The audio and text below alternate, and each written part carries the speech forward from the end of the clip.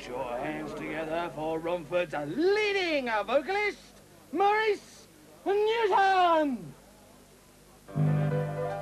I was only 24 hours from Romford. Two more pints of John Bull. Only And quick. one day away from your arms. You're rubbish!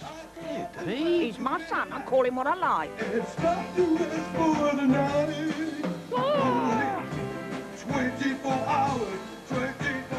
Ah, well, you can't expect everything from Romford to be as good as John Bull Bitter.